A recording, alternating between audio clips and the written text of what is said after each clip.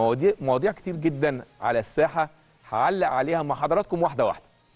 لأن اللي بيحصل اليومين دول واللي كان بيحصل برضو الفترة اللي فاتت الفترات اللي فاتت في قلب للحقائق. وناس عايزة تبث الفتنة على الساحة الرياضية. أمور أبعد ما تكون عن الروح الرياضية اللي كلنا بننادي بيها. ويقول لك في في الآخر بعد كده ده جمهور النادي الأهلي والناس بتوع النادي الأهلي هم اللي بيثيروا الفتنة. طب نبدأ من موضوع أنا اتكلمت فيه قبل كده كذا مرة وحذرت منه قبل كده وبيتكرر. الشائعات حوالين النادي الأهلي. علشان إيه؟ عشان يعملوا فتنة بين الأهلي وجمهوره. زي ما حصل فين؟ في التذاكر. عشان يخلي جماهير النادي الأهلي غضبانة من الإدارة بسبب سعر التذاكر. خلينا نوقف هنا بس عشان سعر التذاكر. أنا أنا كمان بس ليا استفسار هو الاستفسار ده هيتحقق فيه. يعني أنا قريت النهارده آه، أحمد دياب رئيس الرابطة هيحقق في الموضوع بتاع الجماهير. بتاع الجماهير.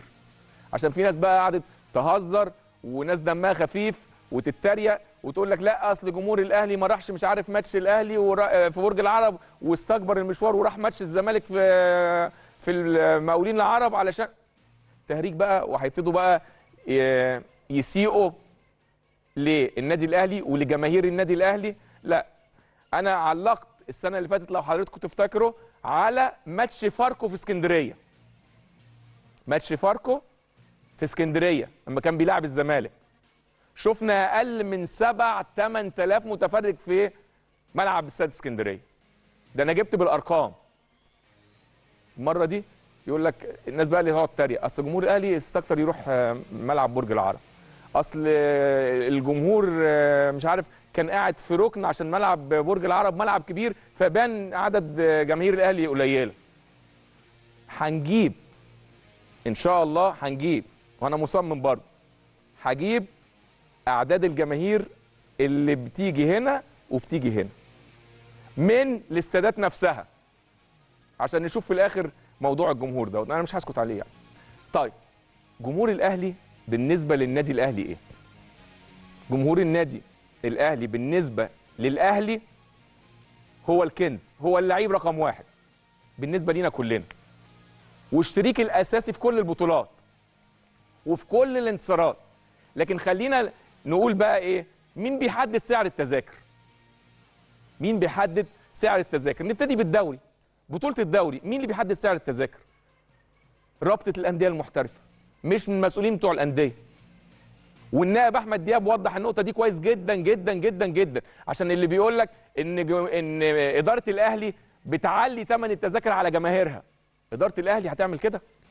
طبعا كل ده علشان يضرب الإدارة ويضرب الجماهير في الإدارة والاثنين مع بعض. أنتوا عارفين طبعا لما بقى حد بيبقى عايز يعمل فتنة بيبقى قاصد إيه. ولكن الحمد لله أهو ربنا أظهر الحق. لما طلع أحمد دياب رئيس الرابطة وقال إحنا اللي مسؤولين. جماهير النادي الأهلي واعية جدا جدا جدا حتى من قبل ما يطلع النائب أحمد دياب. اللي بينافسك شايف إن أنت مركز قوي في الملعب من البداية.